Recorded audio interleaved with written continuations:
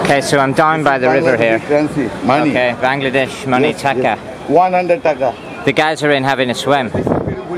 This is real life in uh, Loans. You see? in Dhaka, Bangladesh. A swim and a wash actually in the waters. This is crazy life as it happens here down My by the harbour. Yeah, I understand. Yeah, it's um, it's a busy life here as well. It's crazy here. I, I, I can't comprehend this. I'm not going to spend the whole time making a video though, so I'm going to enjoy it. But this is Bangladesh down by the harbour.